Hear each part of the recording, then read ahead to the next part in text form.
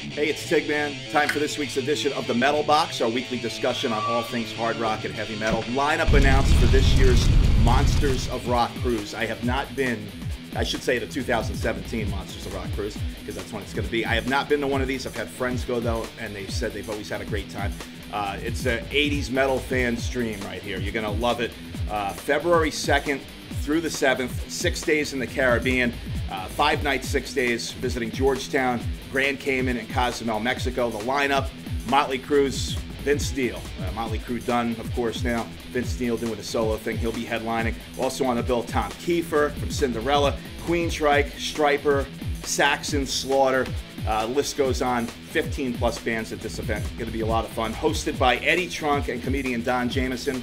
Uh, you remember them from VH1 Classics, That Metal Show, and rock DJ Luke Carl also hosting the event.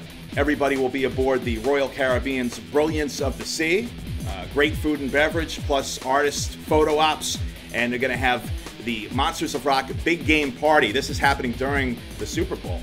So uh, they're going to have the big game party, broadcasting the big game on the big screen on the pool deck. So that should be cool. Musical guests are going to be making appearances there. Plus the Monsters of Rock formal. They're going to have the Monsters of Rock craft beer tasting.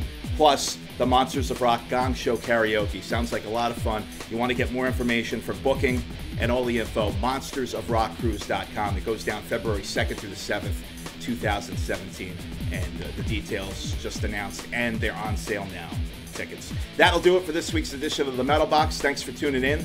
The rock and roll limo has arrived. We'll see you next week.